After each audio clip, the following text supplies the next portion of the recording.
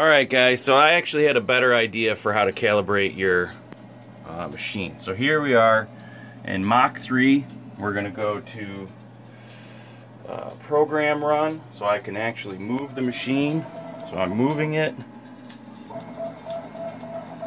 So now, instead of using a ruler, which I was using, I had this idea to use the meter instead. So I have it come back here, and then I zero it out.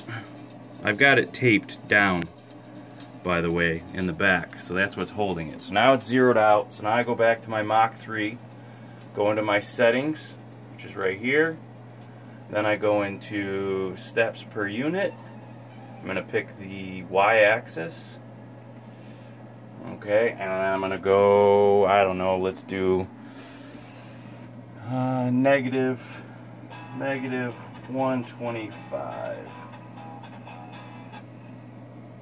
Alright, so now I'm going to hit OK and watch the machine run. And there we go, negative 124.97.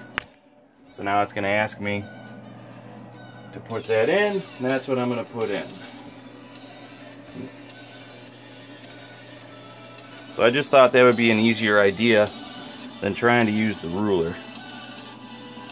124.98.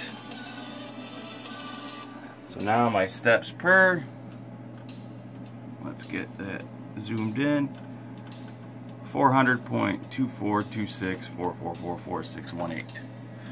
So there you go, different idea. You can probably use that on all the different axes. I did it on the x-axis and I did it on the y-axis and now I'm going to do it on the z-axis as well. So there you guys go. Try that out. I think that's a lot easier than trying to eyeball the millimeters on the ruler and you get really accurate. So try it out, see if that works for you. Hope you guys have a great day.